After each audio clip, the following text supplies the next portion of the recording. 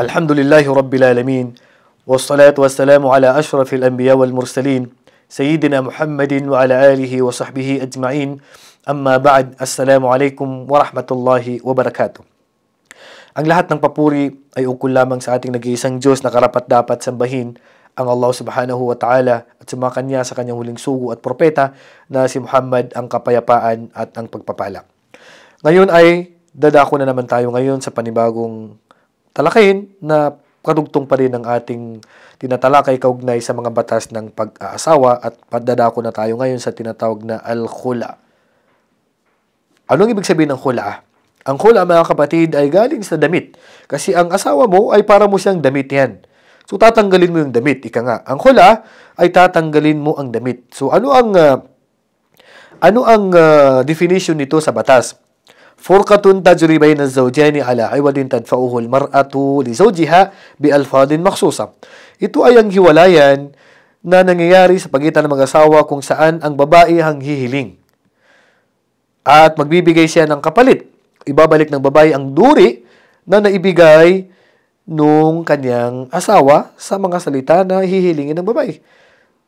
So, siyempre, ito ay nagiging ganap sa pamamagitan ng korte o ng bahay ng hukom. At hindi ito direkta na babae ang magbibitaw, kundi ipaparating niya ito sa Sharia court or sa bahay ng hukom. Ano ang sinabi ng Allah subhanahu wa ta'ala sa pagpapahintulot nito? Sabi ng Allah subhanahu wa ta'ala, فَإِنْ خِفْتُمْ أَلَّا يُقِيمَ حُدُودَ اللَّهِ فَلَا جُنَاحَ عَلَيْهِمَا فِي مَفْتَدَتْ بِهِ At kung natatakot sila na hindi na nila mai, mai, sa katuparan ang mga uh, hangganan, kautusan ng Allah subhanahu wa ta'ala, ibig sabihin nagkukulang na sila sa, dahil sa kanilang pagsasama na hindi na maganda, fala junaha alayhima fi maftadat bi at wala silang kasalanan kung ang babae ay magbibigay ng kapalit. Ha? Magbibabalik niya yung pera o magbibigay siya ng pera. So, ang hadis dito ni Ibn Abbas radiyallahu anhuma anna mara'at Thabit bin Qais atat Nabi sallallahu alaihi wasallam uh, isang babae sa panahon ng propeta sallallahu alaihi wasallam na ang pangalan niya si Thabit o uh, asawa ni Thabit bin Qais na dumating sa propeta sallallahu alaihi wasallam, sabi niya, Ya Rasulullah, Thabit bin Qais, ma a'taba alayya fi khuluqin wala dinin. Ya Rasulullah, wala namang problema kay Thabit. Wala namang problema sa kanyang ugali. Wala namang problema sa kanyang religion. Walakin ni akrahul kufur. Pero natatakot ako sabi niya na maging hindi ko masunod ang Islam. Fakala Nabi sallallahu alaihi wasallam, ibig sabihin, wala ng pagmamahal. Hindi niya na ibibigay ang karapatan ng kanyang asawa. As in, wala na talaga. Wala siyang reklamo sa ugali at sa religion ng kanyang asawa. Pero asin wala na. Hindi na nakikita na naibibigay pa niya. Hindi na niya ramdam na paglingkuran ng kanyang asawa. So sabi ng propeta sallallahu alaihi wasallam sa kanya, ataruddina ala, alayhi hadiyakatahu, ibabalik mo ba sa kanya ang duri na naibigay na sa iyo? Qalat na'am. Sabi ng babae, oo ya Rasul, ibabalik ko. Sabi niya kay uh, Thabit bin Qais, sabi niya, iqbalil hadiqa wa taliqha tatliqatan. Sabi niya, tanggapin mo na ang binibigay niya at hiwalayan mo siya, sabi niya ng isang hiwalay. So, so ibig sabihin mga kapatid sa panampalatayang Islam, ang ganitong paraan ng hiwalayan ay hindi direktang sa babae lang sa pagitan lang nila dalawa, kundi magpa ipaparating ng babae ito sa bahay ng hukom o sa Sharia court. Al-ahkam al-muta'allika bihi wal hikma minhu, ang mga batas na may kaugnayan dito at ano ba ang wisdom kung bakit mayroon nito. Uh, uh, ahkamul khula, tatalakhasu ahkamul khula fil ati at na na, na is, uh, sa summarize o pinaikli ang mga batas na pagpapaliwanag dito sa mga sumusunod. An al-khula jaizun li su'il ushrati bayna zawjayn. Ang khula, yung babae ang hihiling ng hiwalay ay dahil sa hindi na maganda ang kanilang pagsasama. Wala yakaw illa biawadin mali at hindi nangyayari ito maliban may kapalit na ang naibibigay o ibabalik ang babae sa kanyang asawa. Tufriduhu az-zawja li-zawj na ibibigay ng ng uh, ng babae sa kanyang asawa na obligado na dapat niyang ibigay ito. Pangalawa, la yaqaw min ghairi zawjati ar-rashidati lianna ghairu rashidati la tamliku tasarruf li naqsil al, li naqsil ahliya. Kinakailangan na sa tamang pag-iisip yung babae. Kasi yung babae na hindi niya alam ang ginagawa niya, so hindi tanggap. Dapat alam niya na alam niya yung ginagawa niya. Pangatlo, idha khala ar-rajul imra'atahu malakatil mar'a bidalika amra nafsiha wa lam yabqa li zawji 'alayha min sultan wala ruj'ata lahu 'alayha. Kapag kayong ano, yung babae dito ay uh, naging ganap na, tinanggap na ito ng judge, so wala nang karapatan yung babae ngayon. Ay wala nang karapatan yung lalaki sa kanyang asawa, hindi na niya pwedeng balikan. Hindi na niya pwedeng balikan. Bakit? Wala na. Maghihintay na yung babae ng kanyang idda, hindi na para sa kanya.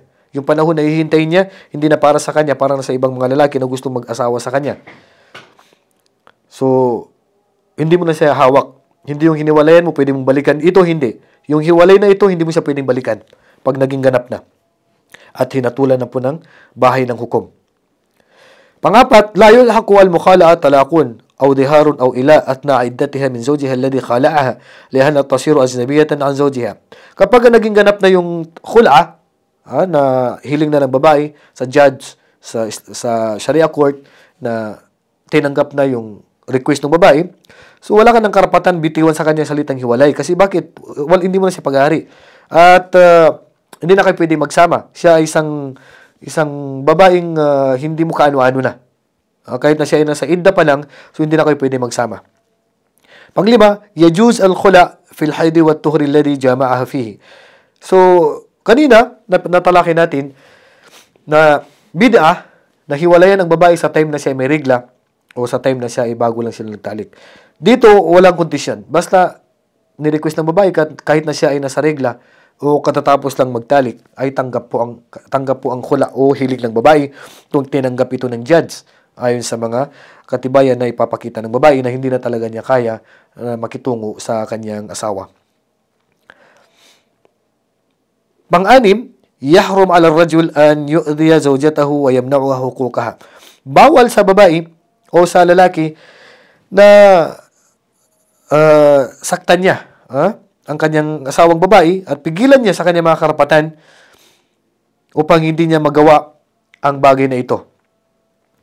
So, hindi pwede sa lalaki na gumawa ng bagay para hindi magawa ng babae ito kung saan tatakutin niya, uh, sasaktan niya, bubugbugin niya, para hindi niya magawa ang bagay na ito. Huwag, bawal po yun. Ito ay karapatan ng babae kung hindi na po nagiging ganap ang pagsasama at hindi na po niya na ibibigay ang karapatan ng kanyang asawa, ang, ng kanyang asawa. At ang uh, pangpito, يكره للمرأة أن يحضر عليها مخالعة زوجها ما استقامة الحال ودون سبب يقتضي. At hindi ka aya-aya, take note, ganun pa man, hindi ka aya-aya sa babae na hilingin niya ang bagay na ito. Kung saan ang asawa niya ay matuwid naman, walang mabigat na dahilan.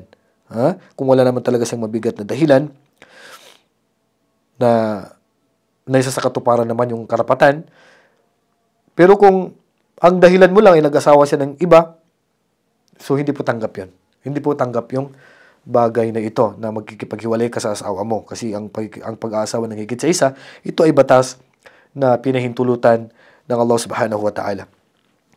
Yung idda nito, yung panahon, kung kay, hanggang gaano katagal ang hihintayin ng babae, na pwede na siya mag-asawa sa iba. Ayon sa ibang mga scholar, sabi nila isang buwan na lang o isang regla lang. Pagkatapos ng isang regla, kung nagre-regla siya, pwede na po siya mag-asawa ng iba. Uh, o kaya ay isang isang buwan na lang kung wala siyang wala siyang regla. Pero ayon sa ibang mga scholar, ay tatlong regla pa rin ang kanyang hihintayin. Pagkatapos noon ay pwede na siyang tumanggap ng lalaki na kung, kung gusto mag-asawa sa kanya. Ibig sabihin yung babae na ito ay hindi na pwedeng manatili sa loob ng bahay ng kanyang asawa. Bakit? Kasi hindi na po niya asawa ito. Uh, wala nang paraan para magbalikan sila kasi hindi na po naibibigay ng babae ang karapatan ng kanyang asawa. So, inuulit ko, hindi pa rin ito kaaya-aya. At uh, kung sakali man mangyari ito, nararapat na iakyat niya sa bahay ng hukom o sa uh, Sharia court. So inshallah, uh, napulutan natin ang aral ang batas ng tinatawag na khula. Ibibigay, magbibigay ang babae ng pera, reward, uh, kapalit sa gagawin niya na ito at naaayon ito sa korte, maaaring yung dori, maaaring madagdagan pa maliban doon sa kaduri na naibigay nung lalaki sa kanya nung sila ay kinasal. Depende ito sa bahay ng hukom o depende ito sa judge ng mga Muslim. Wallahu a'lam wa sallallahu ala nabiyina Muhammad wa ala alihi wa sahbihi ajma'in. Assalamu alaikum wa rahmatullahi wa barakatuh.